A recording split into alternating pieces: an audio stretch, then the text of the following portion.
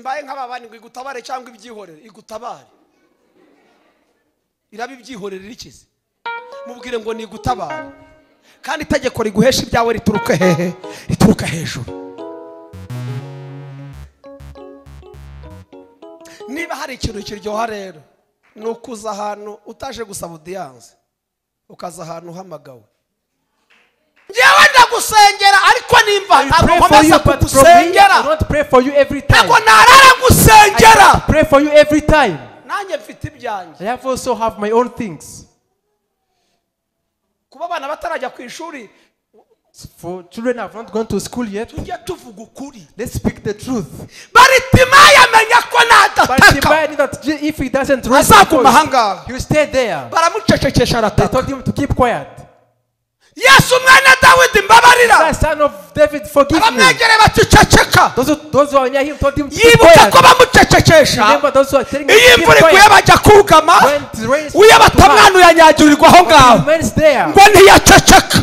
barongera arataka ati yesu umwana dawidi mbabarira.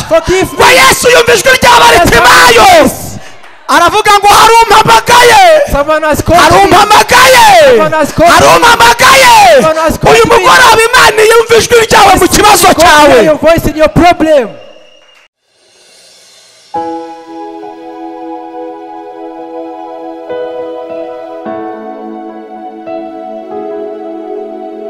ndabashuje mu izina rya yesu I greet you in the name of Jesus. Mwakwicara imana ibaha umugisha You can take your seats and God bless you. Eh, kuba tutaziranye nitwa mbarushimana john For those who don't know me, my name is Mbarushimana John. ndi umuvugabutumwa bwiza I'm an evangelist, minister of the gospel. ndi umugabo ndubatse mfite umudamu n'abana batatu I have a wife and three children. nsengera betseda church I fellowship at Bethesda Church. kwa bishop rugamba Bishop Rugamba. nishimiye kongera kubana namwe uyu I'm munsi pleased to be with you today. turashimira umushumba kandi wongeye kuduha ikaze I thank the pastor who has given us this great welcome. imana imuha umugisha May God bless you. reka tuganire ijambo ry'imana Let's uh, go to the Word of God. kubara ibice makumyabiri na birindwi Uh, Numbers 27. turasoma duhereye ku murongo wa mbere tugeze ku murongo wa munani. Reka nsome mu izina rya yesu. Haravuga ngo maze higira hafi abakobwa ba serofati mwene heferi wa giriyadi wa makiri wa manase mu miryango ya manase mwene yozefu. Aya niyo mazina y'abakobwa ba serofati. Mahira na nowa na hogire na miruka na tirusa bahagarara imbere ya mose na eliyazari umutambyi n'abatware n'iteraniro ryose ku muryango w'ihema ry'ibonaniro. Baravuga bati data yapfiriye mu butayu kandi ntiyari mu iteraniro ry'abateranije kumera uwiteka bafatanije na kora ahubwo yapfanye ibyaha by'ubwe kandi ntiyabyaye abahungu. Ni iki gikuza izina rya data mu muryango we? Ni uko atabyaye umuhungu uzaduhe gakondo muri bene wabo wa data. Mose ashyira uwiteka urubanza rwabo uwiteka abwira mose ati abakobwa ba serofati baburanye iby'ukuri ntuzabure kubaha gakondo muri bene wabo wa se uzatume uroga gakondo ya se. Kandi ubwire abisirayeli iti umuntu napfa adasize abahungu muzatume umukobwa we aragwa gakondo ye. Reka dusoreze mu bami ba kabiri In the book of Second Kings, ibice byaho umunani chapter 8, murongo wa gatanu ndetse n'uwa gatandatu. Igitabo cya kabiri cy'abami ibice umunani umurongo wa gatanu n'uwa gatandatu.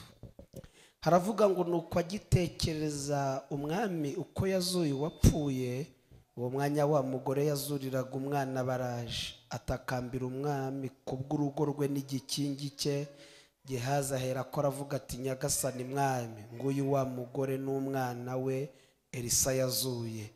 Umwami abibaza uwo mugore arabimubwira. Umwami ahera ko amuha umutware w'umuhesha aravuga ati umugarure ibye byose n'ibyo basaruye mu mirima ye byose uhereye ku munsi yahaviriye ukageza ubu ngubu. Nimwakire neza ijambo ry'imana. Receive the Word of God. Ndagira ngo uyu mugoroba tuganire ijambo imana yashyize ku mutima I want us to discuss this evening the word God has put on my heart. ijambo rivuga ngo imana yohereje umuhesha uguhesha ibyawe wanyazwe And that God has sent someone to bring what has been taken away from you. nongere mbisubiremo Let me repeat once again. imana ikoherereje umuhesha uguhesha ibyawe wanyazwe God is bringing someone to bring back what has been taken away from you. Ah, ntabwo ndajya kuburana. I haven't been in any case, ariko hano ntihaburamo umuntu waburanye. But the, someone here has been in a case. harya umuhesha nuza kuburana cyangwa nuza kuguhesha ibyo watsindiye? Iyo watsinze urubanza ushyire mu bikorwa imyanzuro y'urubanza. The one who puts into action the one who puts into action the ac- the the plans of the case. birajya bikugora ubyihorere haleluya bibiliya The Bible says itweretse inkuru ziri mu kubara makumyabiri na it karindwi has told us stories in the book of Numbers 27. nasomye aya mateka I read this history. nsanga muri isirayeli hari hari itegeko I found that in Israel there's a law rivuga ngo iyo utabyaraga umwana w'umuhungu that says if you haven't born a baby boy ukabyara abakobwa gusa. And you only have daughters, iyo wapfaga when you die, bafataga gakondo yawe. uh, they will take all your heritage. Bagashaka uwabyaye umuhungu. And they will look for someone who has a boy. Bakamuha ya gakondo. And they give all the heritage. Abana bakajya kuba inzererezi and your children and your children become street children. Kuko nta muhungu wabavutse. Because they don't have a baby boy. ni itegeko ryari ririho? That was a law in that time. ni itegeko. It was a law. kandi mbibutse ko ubuyobozi bwose. And I remind you, every leadership, twibuke ko bushyirwaho n'imana. It is put there by God.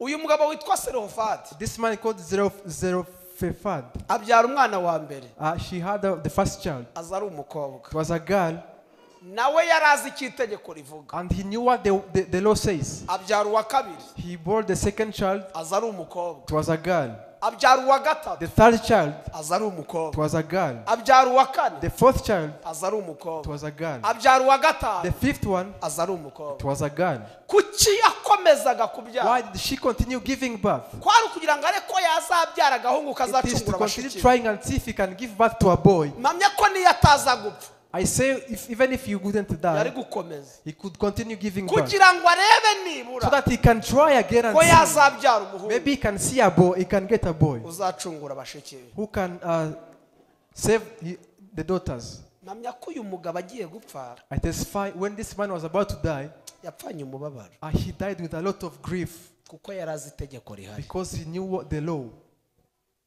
tekereza kuba waravunitse ukora. Thinking, uh, having worked all your life, ababyeyi murimo hano murabizi. The parents who are here, you know it. imvune nyinshi ababyeyi bagira.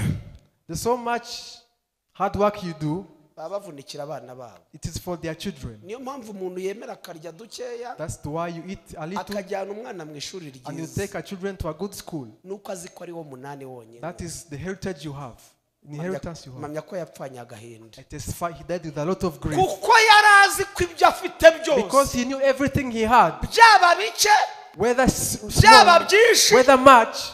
nta burenganzira abana be babifiteho There's no authority that his children had over them. tekereza gupfubiza ko abana bazaba inzererezi. Think think, about it, dying that your, your children will be, and you worked hard and you worked hard all your life. ariko ukaba ubizi ko abana bazabaho But nabi you know that your children will live a bad life kubera icyo itegeko rivuga because of what the law says. ngo arapfa Then he died.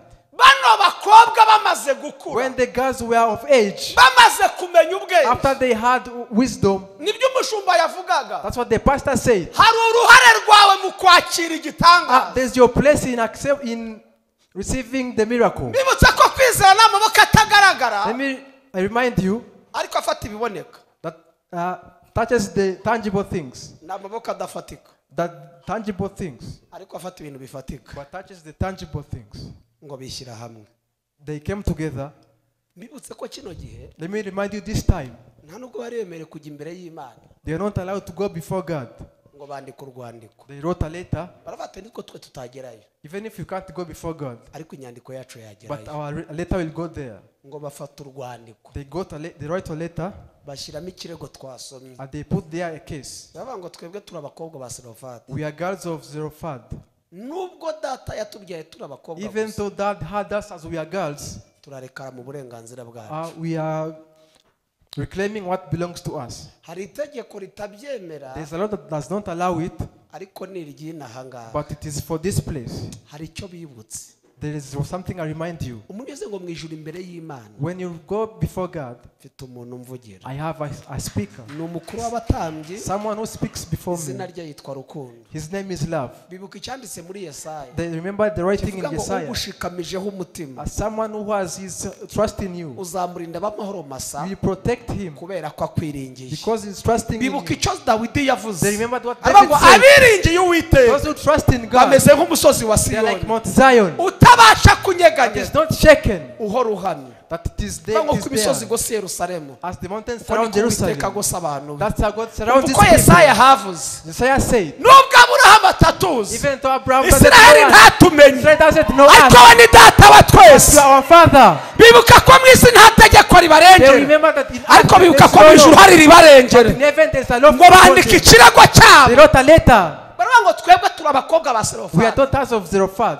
data ntiyabyaye abahungu. That did not have a boy, ariko hari ikiturengera. But there's a law that is on our side. ntabwo yigeze aba mu iteraniro ry'abantu batuka He imana was not in the midst of people who abuse God. ijambo rya kabiri. The second word, yapfanye ibyaha bye gusa. He died with his own sins. gatatu The third thing, tuzire ko data atabyaye umuhungu are we going to take it because our father didn't have a boy? genda uyibwire ngo dukeneye gakondo muri Go tell him that we, that we need our heritage. ngo mose azamura urwandiko rwabo Moses raised his later. arujyana imbere y'imana He brought it near God. bibiliya ntabwo ivuga umwanya mose The Bible does not, does not clearly state the time God said. When he got before God, imana ihita ibwira mose ijambo rikomeye. Iravuga ngo agenda ubwire abakobwa ba serofadi nditegereje. Ngewe mana ndarebye. Sanga ibyo baburana ni ukuri. Kubw'iyo mpamvu. Ngewe mpindura itegeko rya isiraheli. nibahabwe gakondo muri bene wabo wasi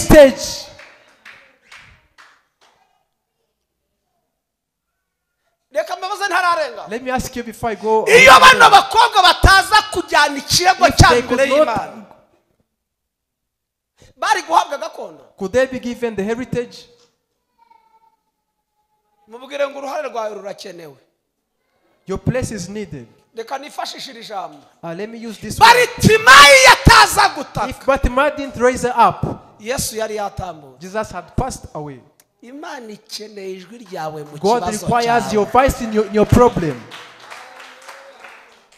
njyewe ndagusengera ariko nimba I ntabwo pray for you, nkomeza kugusengera don't pray for you every time. ntabwo narara I gusengera don't pray for you every time. nanjye mfite ibyanjye I have also have my own things.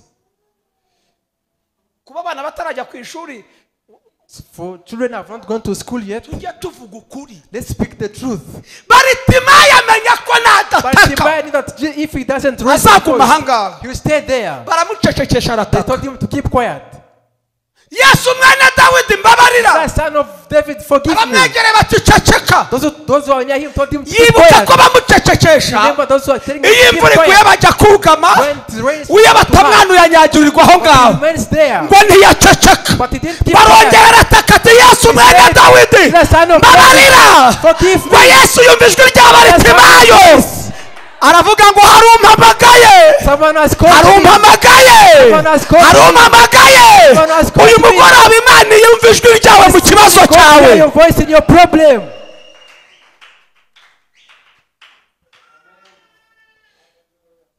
ngo arababwira ngo nimumuhamagaraze They told him, call him to come to come here. Some that pleased me. Uh, they told the, the one who was kandi mwumva ikintu cyashimishije nuko abamucecekeshaga ari we yategetse kumuhamagara nusenga bagusuzuguye bazakubaha. Nusenga bakuvuze bazagucira bugufi. Nusenga! Mbariza uwo muntu ngo wasenze uburiki. Warasenze uburiki. mubaze ngo warasenze uburiki.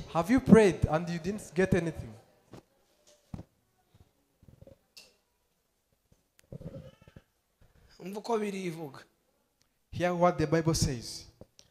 imana ibwira mose ngo genda ubabwire ngo ibyo baburana ni ukuri God told Moses to tell him what they are claiming is true. kandi kuva uyu munsi And from today, kuva uyu munsi From today, iri tegeko this law rirahindutse will be changed. ntihazagire uwongera kurengana There's no one who will be azira ko atabyaye umuhungu there's no one who will be in justice for, for not having a boy.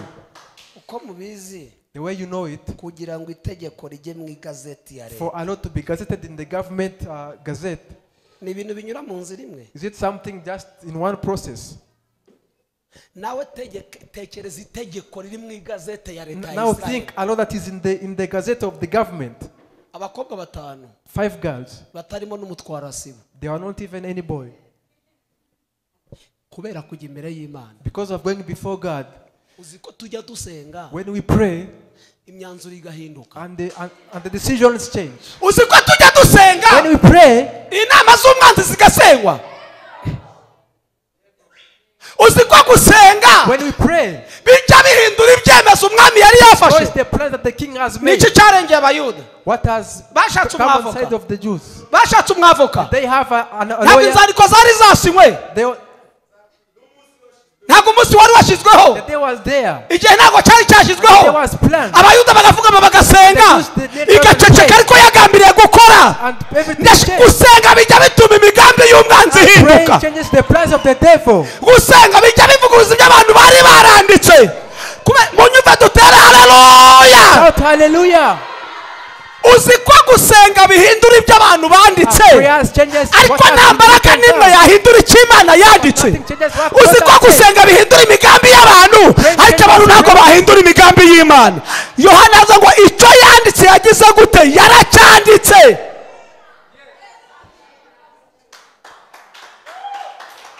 Ntawahindura umugambi w'imana ku buzima bwawe. ariko imana yahindura imigambi yabo God can change their plans on your life. ntabwo unyumvisha rero ntawahindura umugambi w'imana ku buzima bwawe. ariko imana yahindura imigambi But God can change the plans of God on your life.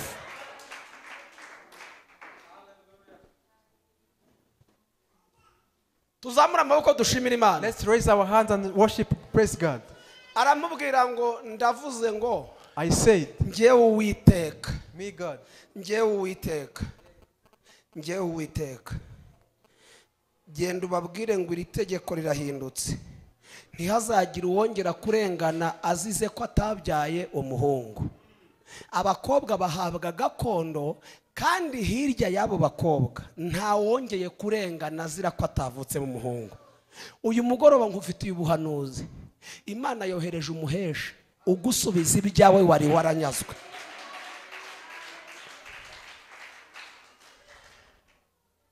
Wakira umuhesha uguhe kugira ngo tuze gukoresha umwanya wacu neza.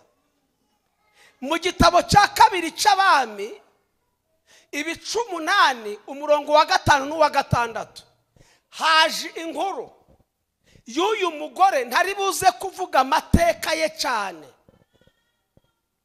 Mbibutse ko uyu mugore ni wa wundi wagiriye neza elisa n'umugaragu we akabubakira akazu hejuru y'inzu ye ngo bajyaga bahatambuka.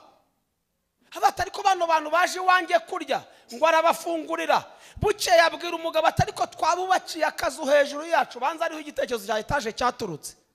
Twashyize akazu hejuru y'iyacu tugashyiramo igitereko kitabaza tugashyiramo buri ko ari abantu b'imana bajya banyura hano tukabafungurira bakaryama bakaruhuka.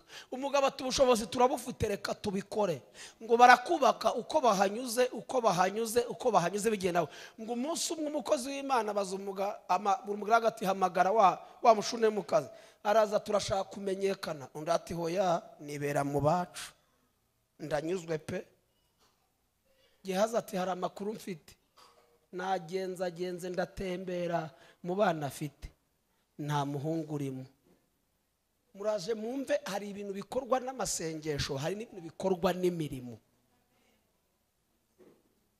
Tujye dusenga twongereho n'imirimo.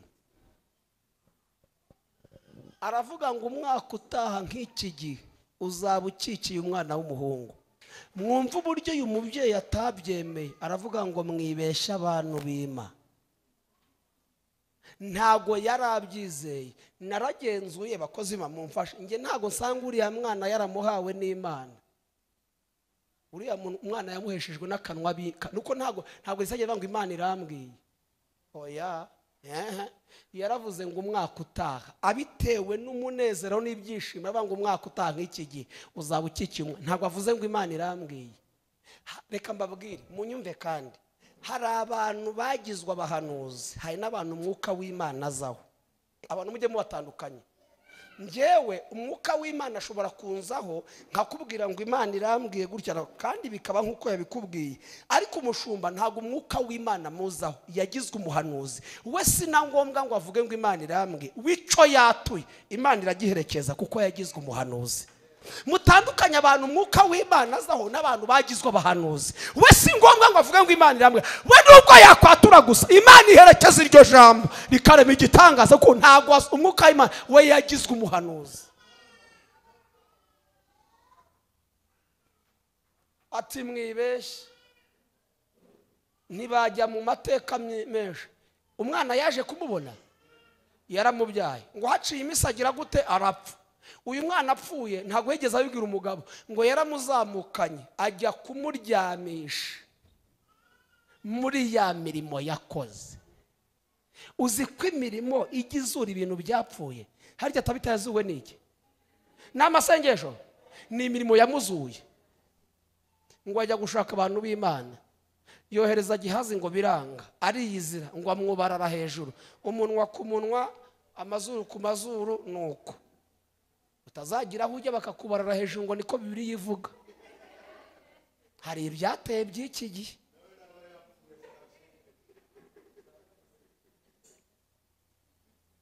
Haramugaterega ubwo se wagize ngo ibyo bibazo byawe ubwawe uri umupfu? Kugira ngo bizuke rero kugira ngo akazi kazuke kugira ngo urugo ruzuke. Mujye mwibuka ko uriya yari yapfuye kandi we nturi umupfu nese wagize ngo abayobesha abandi ntibakoresha bibiliya? Ngo aramuzura. Uzi ko nasomye bibiri ikambwira ngo inzara mbere y'uko itera uyu mugore yamenye amakuru. Yamenye amakuru arahunga. Ngo hashira imyaka irindwi adahari. Aho twasomye rero ngo aragaruka. Ariko agaruka asanga ibye byaranyazwe. Imirima ye yarahinzwemo n'abandi bantu. Barasaruyemo. Bibiriya yavuze ngo yagiye ku mwami umwami ntiyabyitaho. Ariko haza kumenyekana amakuru yuko ari we wakoreshejwe agirira neza abantu b'imana. Kandi ngo bimenyekana na gehazi n'umuhanuzi bari aho. Umwami amenya ko uyu mugore yagiriye neza abantu b'imana. Umva ijambo umwami yavuze. Ngo ahita ahamagara umutegeka. Aramubwira ngo ntanze itegeko uyu mugore. Ahabwe umuhesha umuhesha ibyo yanyazwe byose. Umva ikintu cyashimye. Kuva igihe yaviriye ahangaha n'igihe agarukiye ibyahinzwe adahari ibyo yasizemo byose abigaru. Ntabwo uyu muhesha yaje aje kuburana. Ahubwo yaje aje kumuhesha ik'imyanzuro ye y'urubanza yanzuye. Mumpera ikiganza umubwire ngo uyu mugoroba imana yohereje umuhesha uguhesha ibyawe wanyazwe.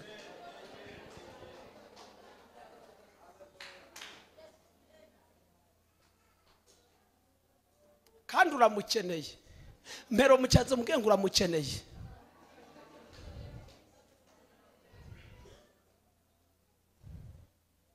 Haleluya tuzamura amaboko dushimira imana. Haleluya abamwakiriye umuhesha haleluya imana iguha umuhesha.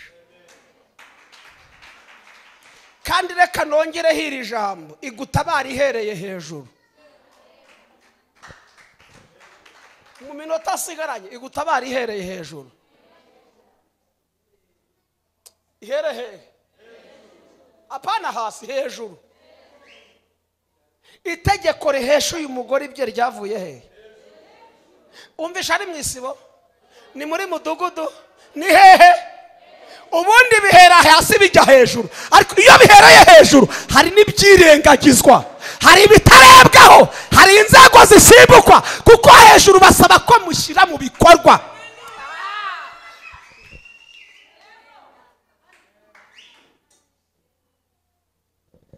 Niba narakivuze ntacyo. Niba ntarakivuze reka nyivuge iyo perezida yagiye mu ntara perezida wacu hajya hatangwa ibirego n'abaturage. Umuturage ati banyubakiye mu butaka mujya mubwumva nawe. Hari igihe avuga ati icyo kibazo mve hano cyagize gute? Bene ahava cyakemutse? Gikemurwa n'abari bakizi cyangwa ni abandi bashaje? None imbaraga zikemura bazivanye ko bari ba ni ukubera ko itegeko rivuye hehe hejuru iyo itegeko rivuye ariko twateye hareruya iyo itegeko rivuye hejuru riguhesha ibyari byarananiranye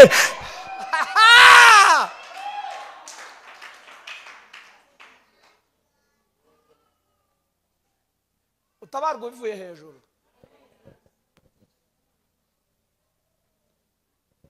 wagize ngo ntitugiye gusenga se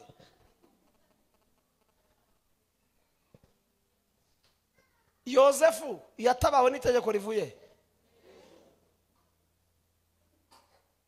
mwigeze mwumva babaza icyari kimufungishije iby'uko utari umwenegihugu barabimubajije egisipiriyanse ye kwe barabimubajije iby'amashuri barabimubajije yabibazwa nande kandi itegeko rivuye hejuru?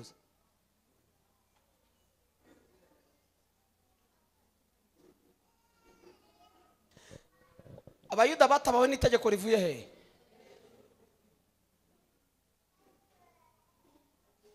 waragerageje ntibyemera. Ariko kuko yohereje umuhesha uguhesha ibyo wanyazwe utabarwe n'itegeko rivuye hejuru. Umaze iminsi ugerageza byaranze. Itegeko nirive hejuru mu izina rya yesu. Sinabibabwiye. Ubu nureba ko umushumba ari we wamuhaye mikoro mwese nta wundi wayinyaka. N'uyoboye gahunda ntiyayinyaka. Niwe se wantumiye? Umushumba ari we wambwira ati umukozi w'imana arekera aho ngaho. Ariko nta wundi. Mwese namwe warambirwa agasohoka ninde wamuhagarutsa kuri iriya ntebe ari wayingishajeho mutabarwe n'irivuye hejuru. Haleluya! Ah nureba ushobora kuza kubera ko hano maze kuhagira inshuti nyinshi. Yego noneho nkaza kubera amarangamutima y'uwankunze agahita aza ati ngwino wicare kuri iyi ntebe. Noneho umushumba yazata ariko mfite abandi bashyitsi nayiza bati mukozi w'imana ihangane. Twari tuzi ko umushumba yazanye abandi bashyitsi ngwino tukwereka akandi gatebe. Nkihangana nyine nabyumva neza ntabyumva neza ngomba kuyivaho kuko wayinyicajeho ntabwo wari ufite ubushobozi. Ariko hari umushumba wayinyicajeho nubwo haza abandi bava bati mubashakira izindi ntebe. Urumva icyiza tegeko rikuvuga kandi niba hari ikintu kiryoha nkibature. Kiryoha. Kiryo reka nyibabwire ze nyibabwire. Reka mbanze ku kibiha soreze ku kiryoha muri make kamera aho njya muzinkurikizi si cyo mubereye aho ngaho. Ikibiha ni ukuza nkicara hano. Bakaza bakampagurutsa bakambwira ati iyo ntebe siyo wemerewe.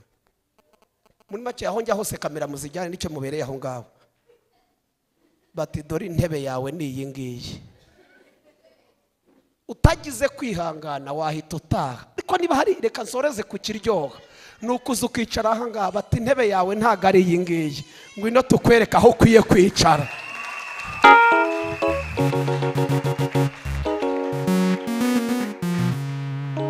Mana nzagushimisha umutima wanjye. Ndavuga Nzavuga ibigwi by'amaboko yawe. Ndavuga Nzavuga ineza wangiriye Mana we bya bihe byari bikomeye Warabihinduye Mana.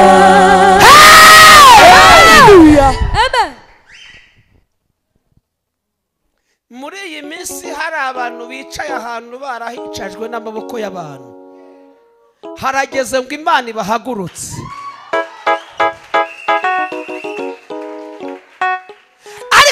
Ariko abicajwe n'amaboko y'imana. Nubwo haza barindwi nubwo haza cumi na babiri ntawe uzahamuvana kuko igihe cyo kuhava ntabwo kiragera.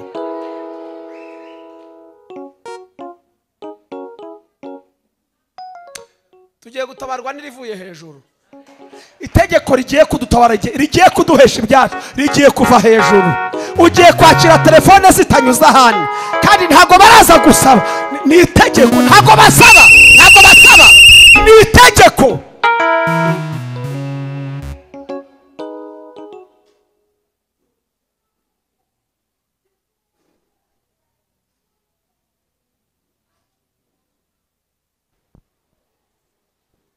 mwakoze kuduha ikaze. Simbaye nk'ababani ngo igutabare cyangwa ibyihorere. Igutabare. Iraba ibyihorere rikize mubwire ngo ni igutabare kandi itegeko riguhesha ibyawe rituruka hehe? Rituruka hejuru. Niba hari ikintu kiryoha rero ni ukuza ahantu utaje gusaba udiyanse ukaza ahantu uhamagawe. Okay ntabwo nzi ariko eh, narayibonye narayibonye biro y'umushumba narayibonye nubwo ntayitinzemo ariko nayinyuzemo. Nayinyuzemo Ah, kabisa.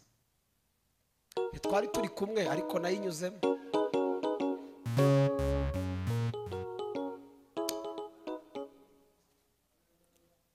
sinzi sekereteri uko biri kose ashobora kuba ahari. Ariko ndamutse nje ntavuganye n'umushumba. Sekereteri yambwira ngo reka mbanze mubaze niba kwakira. Atitaye ko naje kubwiriza. Reka maze muvugishe numve niba akamuhamagara. Umukozi w'imana aragushaka. Murekaze. Kubera iki? Naje nje gusaba odiyanse ntabwo naje ampamagaye. Ariko aramutse amagambwe ati joni nsanga muri biro ni ho ndi. Nishaka amasanga uriya mugabo uriya w'ibogari. Namubwa ni yesu ashimwe mwiriwe. Kandi musuhuza ntambuka. Kubera iki? Ntabwo naje gusaba ndahamagawe. Mwiriwe kutambutse barampamagaye. Ubwo nari nje gusaba narategereje. Ariko kubera ko mpamagawe si ngombwa ko nsaba. Aho njya ndahazi bara imana ifashe uyu mwaka utarashira. Aho wasabiye birahagije uhamagarwa mu izina rya yesu. Dawidi ntabwo yaje dawidi ntabwo yaje aje gusaba. Dawidi yaje ahamagawe. Itegeko rizana dawidi ryava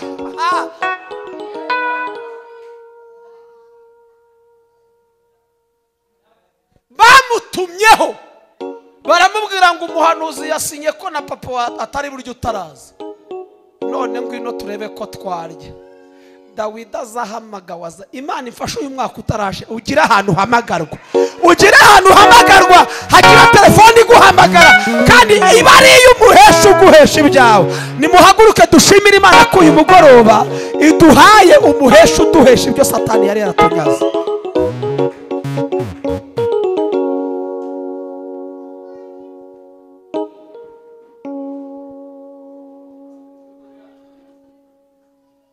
are holy, you are holy, you are holy, You are holy. you are holy, You are holy. You are holy. You are holy.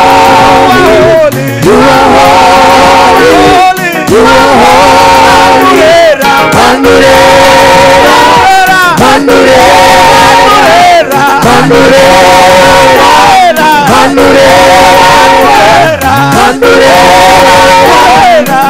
bandure, bandure, bandure, bandure. You are. You are holy. You are holy. You are holy.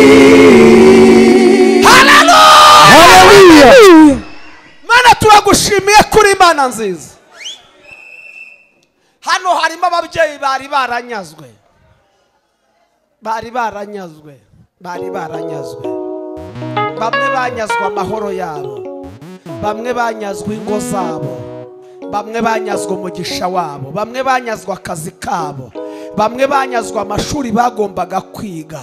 Ariko turagushimiye ko uyu mugoroba. Wari wambwiye muze batangarize ngo uduhaye umuhesha. Uduhesha ibyacu twari twaranyazwe ababyeyi bakiriye ibyo bari baranyazwe atosikitando fetotarasira adora foradra azana bini foradra. Abagabo twakiriye ibyo twari twaranyazwe. Abakobwa bakiriye ibyo bari baranyazwe. Abasore bakiriye ibyo bari banyazwe. Itorero twakira ibyo satani yatunyaze. Mu izina rya yesu satani yanyaze abantu gukiranuka. Satani yanyaze abantu kubaha imana. Satani yanyaze abantu kwihangana. Ariko turasenze turagushimye ko uyu mugoroba. Uyu mugoroba.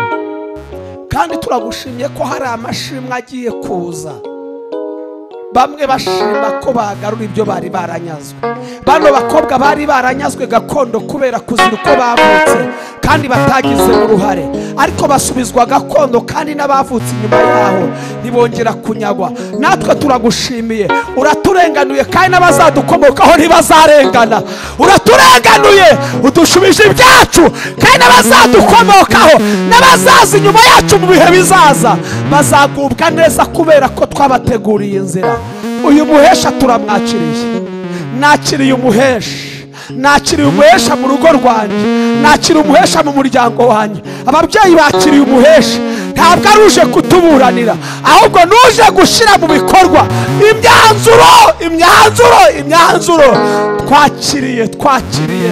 Umuhesha uhesha abashomeri akazi umuhesha uduhesha amazu yacu umuhesha uduhesha kuva muri bwa buzima.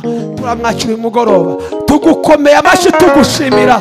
Ayo mashyi ni ayawe ayo mashyi ni ayawe. Umubyeyi wacu yatubwiye ngo ikintu cyose cyagenewe igihe.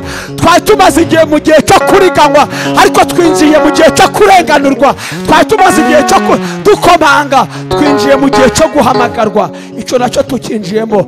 Tugukomeye amashyi tugushimira.